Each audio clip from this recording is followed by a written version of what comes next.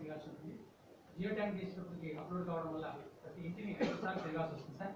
So మండలం నుంచి నేను సిమెంట్ గోడౌన్ పెట్టగలిగితే మనం బెనిఫిట్కి ఈ మెటీరియల్ సకాలంలో తక్కువ ఖర్చుకు మనం ఇప్పించడానికి అవకాశం ఉంది. అదేవిధంగా ఈ త్రీ ఎన్టీఆర్ హౌసింగ్ సార్ ఇప్పుడు కూడా జరుగుతుంది సార్. అది తన దృష్టికి డీటెయిల్ తీసుకురాగలుగుతాం తర్వాత.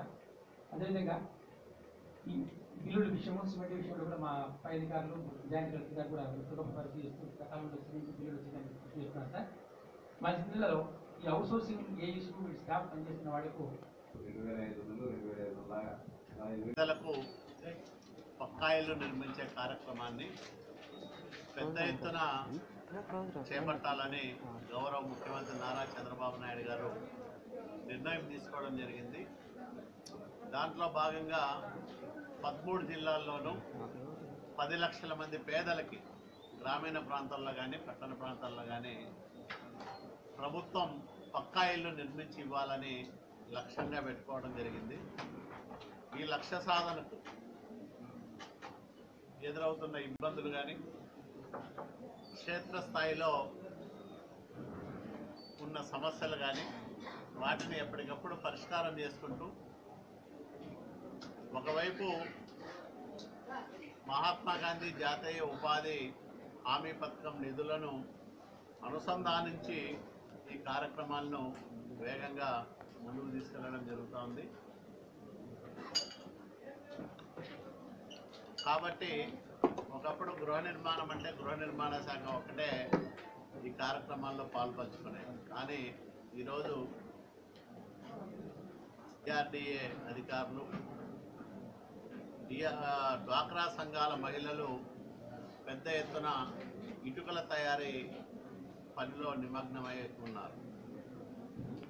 స్వయం సహాయక సంఘాలకు ఇటుకల తయారీ బాధ్యతను అప్పచెప్పడం జరిగింది.